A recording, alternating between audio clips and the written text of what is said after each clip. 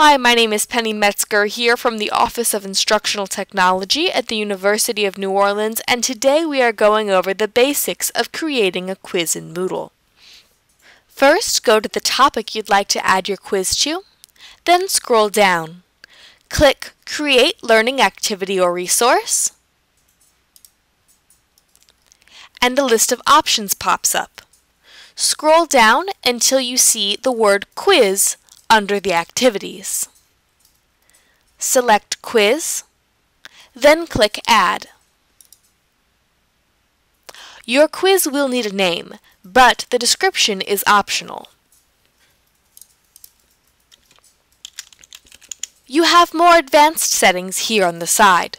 I'm going to click the Expand All button here, but only show you a few. The first important setting is timing.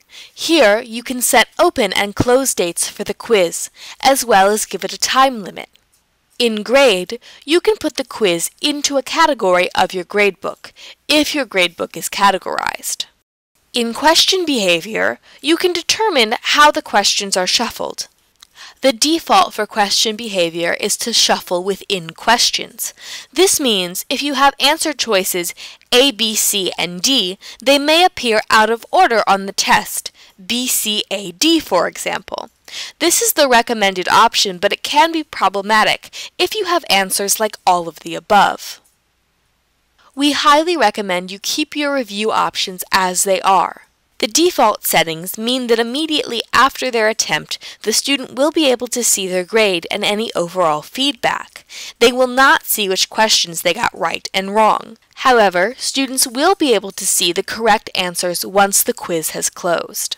The rest of the options are considered advanced, and if you'd like to learn more about them, please contact our office or see information in the description box below. Once you have changed all of your settings to your likings, you can scroll up and click Save and Return to Course. Now we have a quiz, but there are no questions in it. Scroll down and find the quiz. Click on the quiz, and then click Edit Quiz. This is how we add questions. Use the Add button here. Because we created questions before, we want to add from Question Bank. Select the category you created and select any questions you would like to add. Then click Add Selected Questions to Quiz.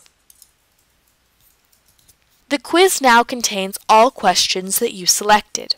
Now just click Save and you're ready to go.